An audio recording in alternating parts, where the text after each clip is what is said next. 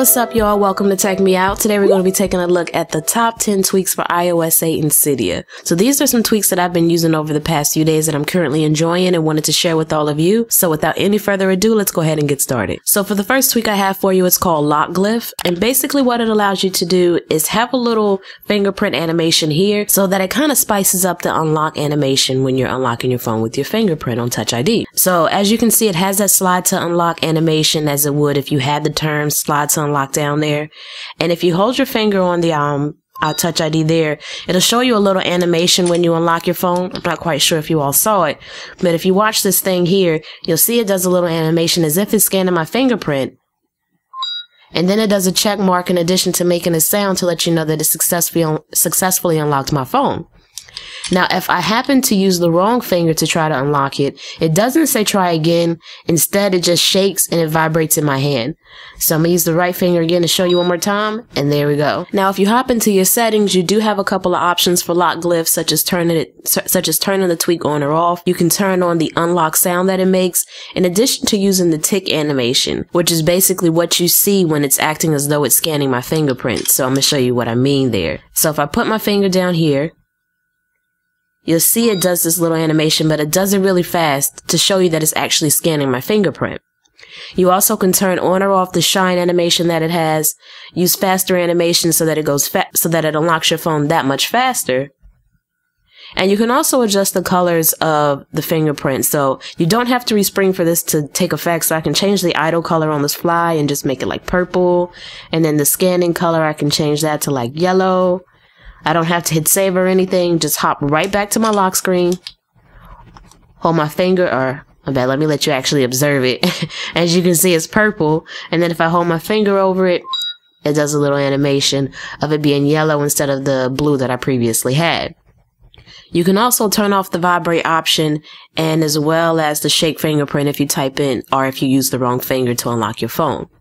And that's really basically it. No respring required. Everything happens on the fly. Definitely a tweak you must check out. So up next is all-time favorite Spring to Springtomize 3. That's now compatible with iOS 8. And that's the little animation you may have peeped if you were looking um, when I went to my lock screen. So if I hit, or let me actually hit it over here. If I hit my lock screen button, You'll notice it does this like little TV animation and I love that. It's a small effect, but one that I, I enjoy.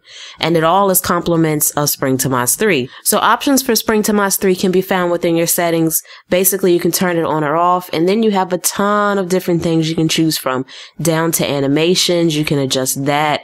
And that's where I also adjust that lock animation. I made it old TV, but you do have a couple of others to choose from here. Um, you also can adjust the app slider.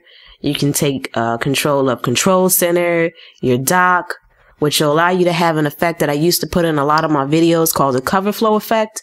So I'm gonna just kind of enable that and hopefully it will adjust without a respring. We'll take a look.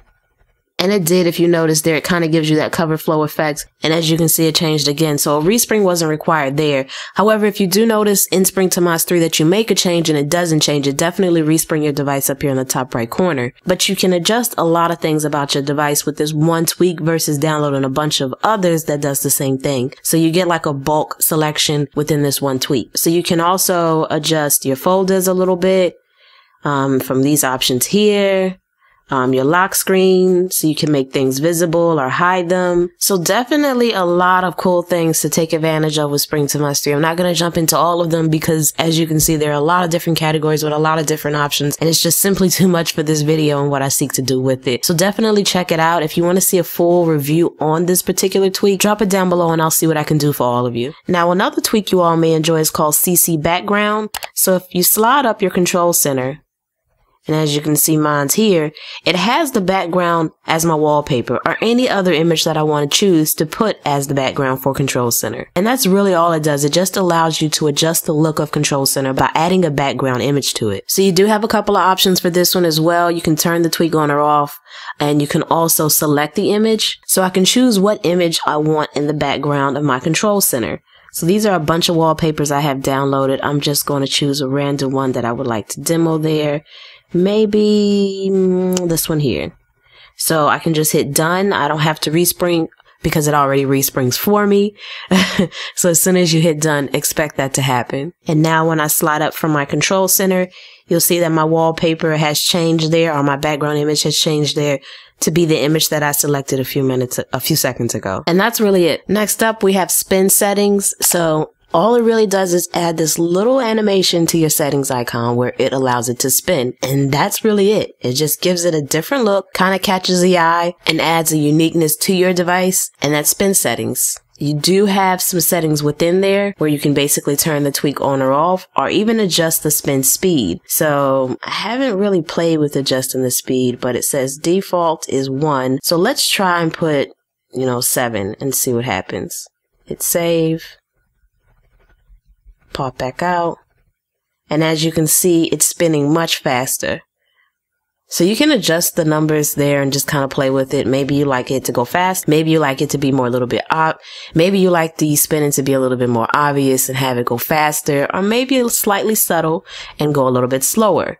But definitely check out spin settings. It's simple, but something to customize the device a little bit more to your liking. So coming in next here, we have Little Brother. So if you did not notice, I'm using an iPhone 6, not a 6 Plus.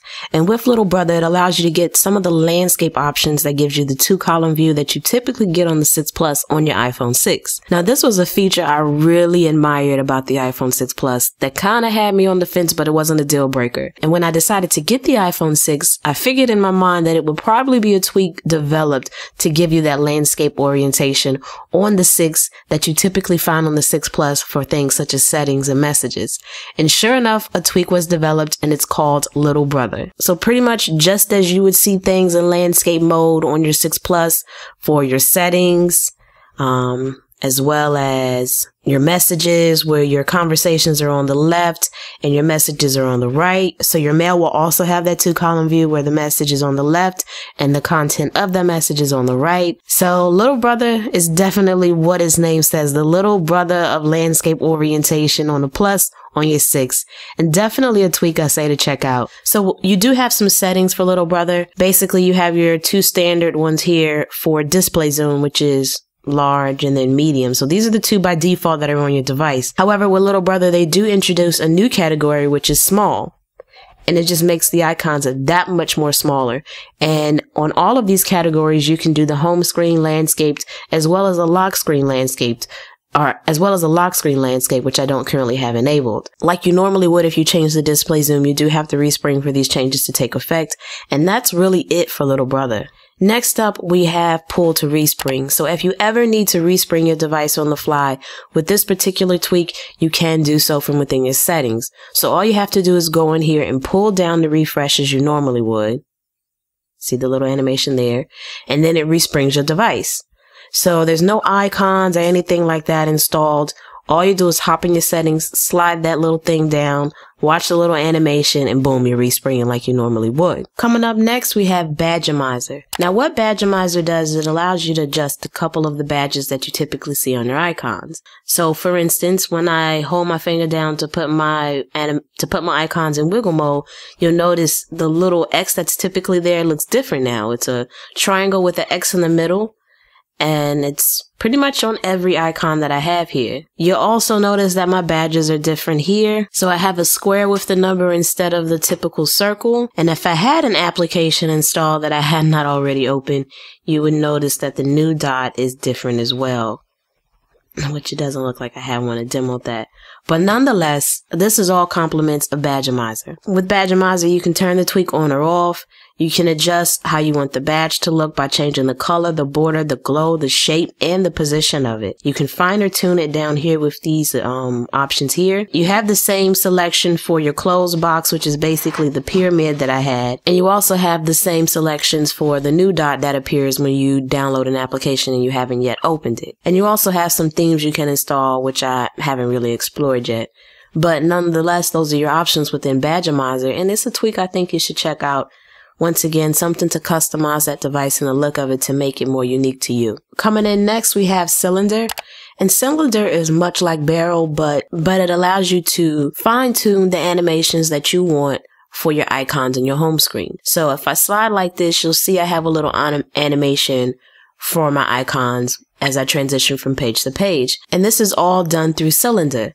So if I hop into my settings, you'll see you have a lot of choices for this particular tweet where you can adjust what type of animation you want to use. So right now I have, if you're curious, carousel selected. I also have cube selected and spin selected. Um, and you'll notice it'll have a number to show you what number animation that is. So you can put a lot of different effects on top of each other to customize it to make it look even more cool or even more crazy. But nonetheless, this is what Cylinder does. Definitely one to check out because it, it lets you really fine tune the pre-made effects that are offered typically in Barrel. You can make your own effect. Coming in at number nine, we have Better 5 column home screen, which is basically what you see here.